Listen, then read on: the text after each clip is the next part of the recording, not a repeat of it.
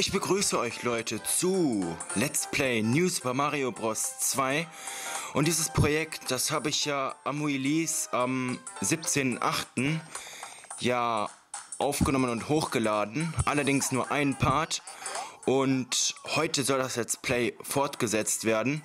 Ich habe auch keine Ahnung, warum ich das Let's Play damals einfach so abgebrochen habe ohne Grund. Ist einfach so gekommen und ja, das Let's Play, das wird jetzt endlich fortgeführt. Nach knapp anderthalb Jahren geht es endlich damit weiter. Und der Spielstand ist immer noch der gleiche. Wir sind immer noch in Welt 1. Und ja, was haben wir überhaupt das im ersten Part alles so gemacht? Es ist auch schon etwas länger her, als ich das Spiel gespielt habe. Ähm, ja, wir haben bis zum ersten Turm gespielt. So viel weiß ich noch. Und wir machen jetzt einfach mal weiter in Welt 1 Level 4. Und man sieht es auch schon hier an der Münzanzahl da unten. Ich habe mittlerweile 2 Millionen Münzen gesammelt, also ist nicht so wie beim ersten, als ich das Let's Play gestartet habe, dass ich irgendwie nur äh, 600 Münzen oder so hatte. Nein, es sind jetzt wirklich 2 Millionen geworden. Also das eine Million Münzlimit, das habe ich schon mal erreicht, was ich damals ja im Let's Play eigentlich erreichen wollte. Und diese Aufgabe, die hätte ich schon mal geschafft durch das ganze private Spielen und weiß der Teufel was. Und dieser Treffer, der war gerade richtig unnötig. Aber was soll's. Ja, gespielt wird dieses Spiel zu 100%. Das habe ich auch alles schon im ersten Part gesagt. Und ich muss mich halt jetzt erstmal wieder in das Spiel reinfinden, weil ich es halt auch schon längere Zeit nicht mehr gespielt habe. So, die acht roten Münzen, die gibt es immer noch. Die werde ich jetzt aber nicht einsammeln, da ich ja äh, Tanuki Mario bin und ich habe noch einen Tanuki im Inventar. Also leer ausgehen sollte ich schon mal nicht. Und hier muss man jetzt, glaube ich, wieder schnell sein. Ja, doch, doch, doch, doch, doch, doch. Das wird schon, das wird schon, das wird schon. Sehr schön. So. Dann gehen wir jetzt hier mal wieder raus aus dieser Bonus-Area. Und hier hätten wir jetzt einen Goldring. Ich weiß nicht, gab es den schon im ersten Part, als ich das damals gezeigt habe? Ich glaube nicht, ne? Auf jeden Fall sieht man es ja schon, man kann mit dem Goldring richtig viele Münzen äh, abräumen. Und die ganzen Gegner verwandeln sich dann auch nochmal in Gold. Und wenn man die dann mit dem Panzer kickt, dann kriegt man auch nochmal richtig viel Geld. Also, ich, ich, ich verwackel die ganze Zeit mit dem 3DS, weil ich habe den jetzt in den Händen. Also früher hatte ich den immer normalerweise auf dem Tisch liegen, sodass ich quasi ja, nur so gespielt habe. Aber jetzt habe ich hier ein bisschen mehr Luft zwischen äh, dem Tisch und dem 3DS, sodass ich den jetzt auch so ein bisschen hin und her wackeln kann. Ist manchmal das Bild halt ein bisschen schief, aber so ist es angenehmer zum Spielen. Ich hatte mir eh vor, spätestens Ende 2014 mir eine Capture Card zu kaufen für den 3DS, sodass ich da noch endlich mal frei aufnehmen kann, ohne die ganze Zeit mit der Kamera alles abzufilmen. Und das wird dann sehr wahrscheinlich Ende 2014 stattfinden. Sehr wahrscheinlich. Und dann kann man auch endlich mal in Ruhe 3DS Spiele aufnehmen, ohne dass man halt, ja, wie gesagt schon, nicht die ganze Zeit alles mit der Kamera abfilmen muss. Ach oh Gott, da sind ja diese Fische. Mario, schwimm doch mal schneller, ey. Ach, Mann. Gib mir mein Tanuki-Blatt. Danke. Dum, dum, dum, dum, dum, dum, dum. So, ich glaube, hier unten gab es die zweite Sternmünze, wenn ich mich richtig erinnere. Dum, dum, dum, dum.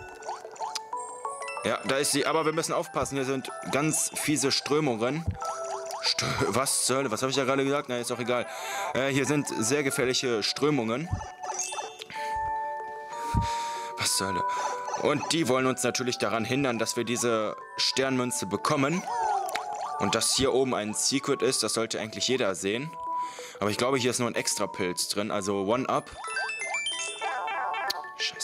scheiße, scheiße, scheiße, scheiße. Ah, scheiße. Und jetzt habe ich niemals gesehen, ob da irgendwie ein Pilz oder so drin war. Aber wir haben immerhin die Halbzeit erreicht. Also, das ist jetzt kein Weltuntergang.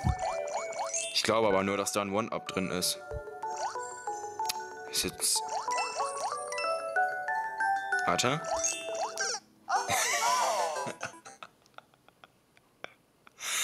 Ah, kriege ich das irgendwie heute nochmal hin, irgendwie diesen Block da anzustoßen. Oh Gott. Moment habe ich das nur verdient, ey. Okay, warte. Jetzt. Okay, es ist nur ein extra Leben. Ja, komm, auf dieses extra Leben verzichte ich jetzt einfach mal, sonst hängen wir wirklich noch den ganzen Part an dieser äh, Box da fest. Da habe ich überhaupt keinen Bock drauf. Und hier ist doch bestimmt ein Pilz, oder? Ja, natürlich ist hier ein Pilz. Warum auch nicht? Warum sollte hier auch ein Pilz drin sein, ne? Aber da war zum Glück einer. Na toll. Warte. Ah, komm. Ein Stern. Hm. Los. Kill sie, Mario. Kill sie. Du bist jetzt unverwundbar. Aber ich muss noch auf die letzte Starcoin achten. Wo ist die? Da oben könnte sie sein. Oh, bitte, lass sie da sein. Da ist sie auch. Sehr gut. Okay. Und jetzt nicht sterben, Mario. Ich will dieses Level noch... Ach du Scheiße. Heile beenden. Dum, dum, du, du, dum, du, dum, dum, dum, dum. Okay, da ist das Ziel. Und wir sind wieder in der Oberwelt. Und dann... Oh, schade, ich wollte mir eigentlich noch einen One-Up da oben holen, aber hat leider nicht geklappt. Na gut, okay. Ist jetzt kein Weltuntergang. Gut. Wir könnten jetzt eigentlich schon direkt zum Castle gehen. Aber wir machen das nicht, denn hier müssen wir noch 5 Sternmünzen bezahlen, das uns nämlich zu einem Extra-Level bringt. Und dieses Extra-Level, das wollen wir jetzt direkt mal bestreiten. Wir speichern vorher noch ab und machen Welt 1 Level A. Level A. Das A, B, C oder wie? So. Hier unten gibt es erstmal ein paar Münzen. So. Ach, gibt es hier irgendwo einen Pilz? Ich glaube nicht, ne? Ne, hier ist keiner. So eine Scheiße aber auch. Oh, aber hier... Hier ist ein Pilz drin. Das ist sehr gut. Halt, warte Mario. Wir gehen nochmal eben zurück. Hier kann man nämlich eine Stampfattacke ausführen. Und hier ist auch schon die erste Sternmünze, Starcoin, wie auch immer. Und hier ist ein One-Up. Sehr schön. Das nehmen wir natürlich gerne mit. Und gab es hier unten nicht auch noch einen Goldblock? So ist es. La la la la la la. So, den nehmen wir mit. Ist hier noch irgendwas an den Seiten? Ja, da ist noch was. Nochmal ein One-Up. Sehr schön. Und wir schließen uns nochmal nach oben. Aktivieren hier erstmal die Halbzeitflagge. So wie es sich gehört. Und dann gehen wir mal hier hoch. Denn hier ist noch ein kleines Secret. Ne, warte, ich will erst mal gucken. Ah, ist da oben was in der Röhre? Ah, ist da was? Ne, da ist nichts. Schade. Okay. Uh, noch ein Goldring. Das ist gut. Jetzt kriegen wir nochmal massenhaft Münzen. Nein, das soll ich nicht treffen lassen. Was? Nein, das war nicht so. Na, egal. Oh Gott, hier können wir jetzt auch nochmal richtig viel Geld abräumen, wenn wir wollen. Ja, es sieht doch gut aus. Also Mario, ich glaube, deine Steuern kannst du in diesem Spiel richtig schnell abbezahlen. Weil wenn du hier die ganzen München, in, München, vor allen Dingen München, wenn du die ganzen Münzen hier in den Arsch geschoben bekommst, ja, dann dürften Steuern dir ja scheißegal sein. So, dann gehen wir doch mal hier rein, schießen uns hier nach oben. Dieses Level ist cool. Schöne Idee mit den ganzen Röhren. Oh, und da ist die zweite Sternmünze, da müssen wir einmal ganz kurz warten und dann können wir sie uns nehmen. So, hier geht es noch rein. Das überprüfen wir auch noch mal direkt mal. Oh, noch ein Goldring. Ah, warte. Jetzt. Das bringt auch noch mal ordentlich Geld. Und ja, wir gehen jetzt auch mal sofort ins Ziel. Aber wisst ihr, was mir gerade auffällt? Uns fehlt uns noch eine Sternmünze. Ach ja, genau. Ach, die war ja so böse versteckt damals. Hier. Da ist ein unsichtbarer Block. Und da, da, wenn man den betätigt, kommt man hier in die Röhre rein und dann ist hier die dritte Sternmünze. Ja, über diese Sternmünze habe ich mich damals sehr, sehr geärgert. Obwohl die eigentlich so leicht zu finden ist. Man musste einfach nur da die Röhren überprüfen, weil die diese Röhren da ja auch schon sehr verdächtig aussehen. Hm. Ja, okay, gut. Jetzt haben wir die Sternmünze wenigstens und können somit ins Ziel springen.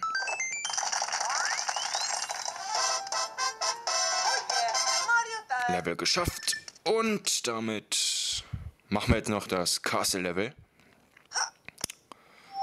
Da haben wir noch ein Toadhouse freigeschaltet. Das werde ich jetzt aber nicht benutzen, denn wir wollen in das erste Castle von Welt 1. Wie werden wir uns hierin schlagen? Ich weiß es nicht.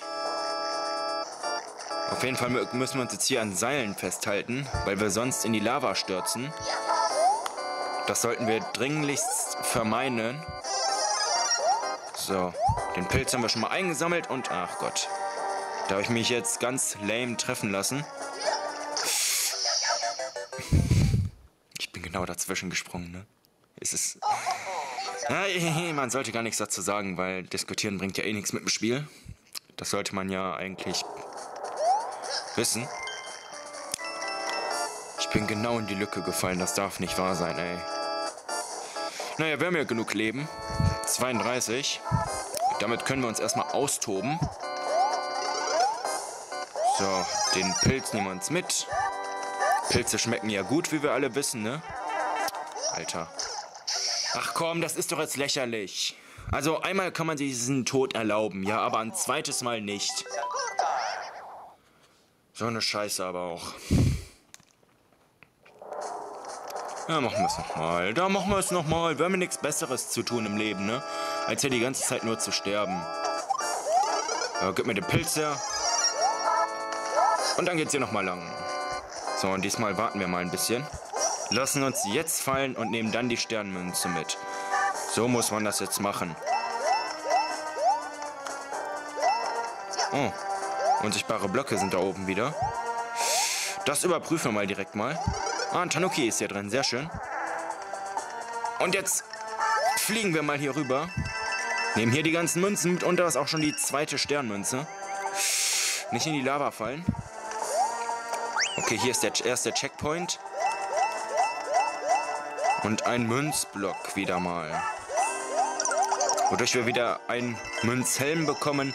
Damit können wir nochmal ordentlich Geld abräumen. Scheiße, ich habe den jetzt verloren, aber ich konnte meinen Tanuki wenigstens noch behalten.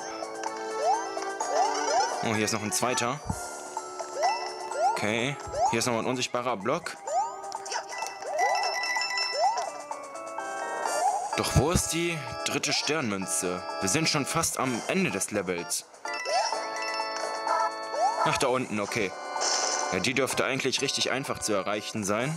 Ja, bist du auch. Die war ja geschenkt. Okay, hier ist noch ein Tanuki. Gehen wir mal zum Boss. Roy ist der Boss, ne? Der heißt doch Roy, ne? Ich meine doch, der ist Roy, ne? Ich weiß es gerade nicht mehr so genau, wie die alle heißen. Die Kupperlinge. Ja, das ist Roy. Okay, was macht er? Er will uns rammen. Das klappt aber nicht so ganz, weil er halt richtig schlecht ist. Und wir weichen ihm jetzt erstmal die ganze Zeit aus. Und dann machen wir eben nochmal damit Schaden. Und die Wände rücken immer näher. Also diese Wände wollen mich scheinbar behindern, was ihnen aber nicht gelingt. Und damit ist Roy tot. So. Da oben ist ein goldener Schlüssel aus Super Mario 64. Nein, ist es nicht, aber sieht so ein bisschen aus wie der Schlüssel aus Mario 64. Naja, okay. So. Da ist Peach. Mit. Wie hieß dieser Typ nochmal? Lemmy? War das Lemmy? Ne, Lemmy war doch der Kleine, ne? Ach, keine Ahnung, ich weiß nicht, wie die alle heißen. Ist aber auch unwichtig. Denn diese äh, Kupferlinge sind böse und sie müssen einfach nur alle sterben. Das ist das Wichtigste. Ja, ich möchte gerne abspeichern. Und das war's dann jetzt erstmal für heute von Let's Play New Super Mario Bros. 2. Und im nächsten Part schauen wir uns die Wüstenwelt an. Die sieht doch richtig groß aus. Also, bis zum nächsten Mal.